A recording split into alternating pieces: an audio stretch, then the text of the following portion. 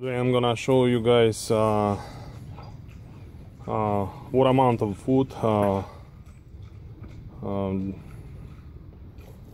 we use for to for feeding our Central Asian Shepherds Alabai dogs.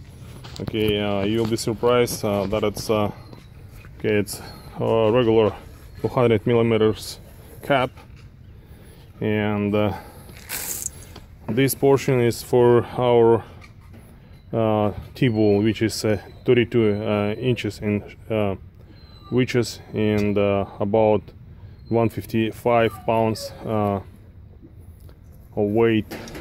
This portion, there is okay, there is just five five caps like that. It's it's uh, for one for all day. Uh, we we feed the dogs uh, one one time per day, and it's five cup for him this is this portion is for uh, uh, South of Asia Butus uh, and his weight is about 160 pounds. And his normal portion is four cups like that per day. And uh, this portion is uh, four four cups for our young female um, Varvara. Four cups for one year old uh, lady and this portion for cups is for um,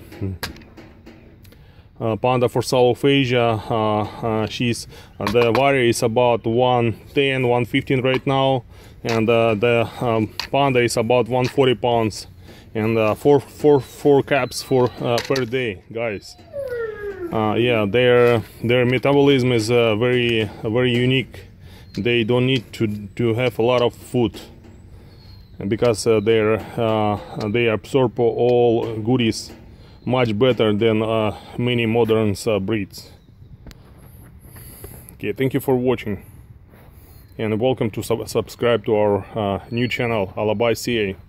Thank you.